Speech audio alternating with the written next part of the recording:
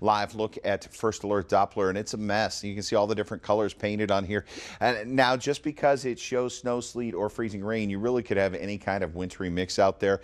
Williamsboro to Norlina, back into Granville and Vance counties now with some heavier snow showers, some snow flying in Boyton. As you look down here in Roxboro, right here, we're really seeing some of this moisture wrap in down to Orange County. Uh, on the back side of that, the heavier snow is falling, and then that wintry mix through Durham County. Uh, it's showing purple with sleet right now, but I just was looking outside about two minutes ago, and it was a nice, heavy, steady snow falling. So really, again, if it's not green, you could be seeing anything, and that's exactly what's happening, especially Pittsboro to Chatham County, Holly Springs now starting to show uh, the mixed precipitation there. I just retweeted a tweet from a viewer uh, in Cary who said we're at it again in Cary, more snow falling on the western side of Wake County.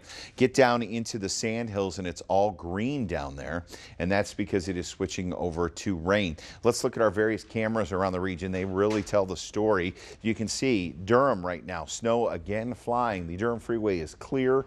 Uh, it's there in the foreground, but blowing snow a problem. Winds have picked up now, going about 15 miles per hour. Temperatures below freezing. If we go to Fayetteville, Fayetteville, you're still warm enough that this is a rain event.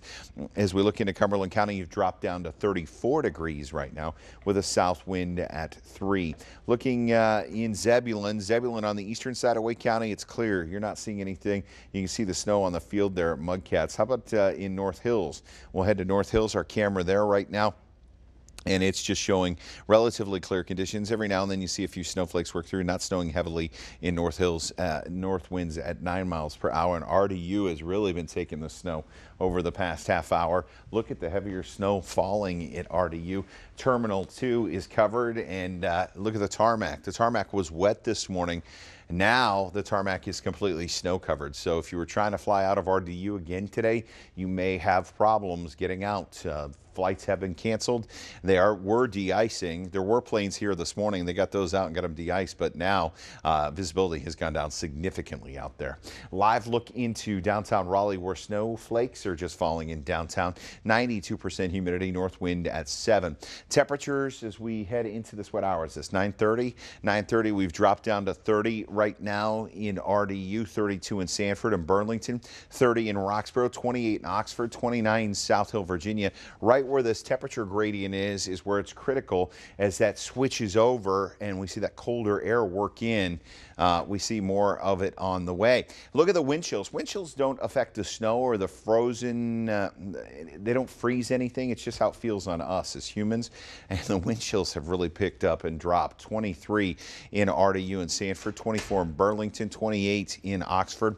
Wind chill right now 21 in South Hill, Fayetteville. Even though you're above freezing, it feels colder than that, 26 degrees. Regional satellite radar perspective shows a wintry mess. You can see the back edge of the precipitation now working through the mountains. They will actually see the sun break out in Boone over the next couple of hours. We still have all of this part to rotate down through. Now, it is starting to dry up here to the north and west. You can see that back edge starting to creep into North Carolina, and I do think we will see some of that dry air work in as we head through the day. First Alert Predictor Forecast Model will run this ahead through lunchtime by 2 o'clock. We still could see some snow down east. It's still pulling that cold air into the warm air.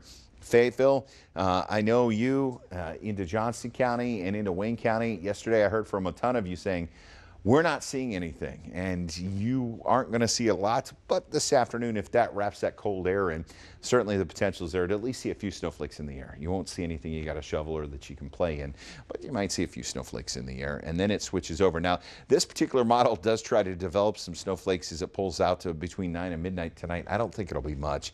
I think this is uh, kind of moot as skies will clear out, and then through the overnight hours, uh, the cold air will settle in, and tomorrow morning is going to be freezing around around here. That low pressure system continuing to try and work out of here as it works its way out of here and pulls out of here. We'll see the temperatures across the region uh, starting to climb.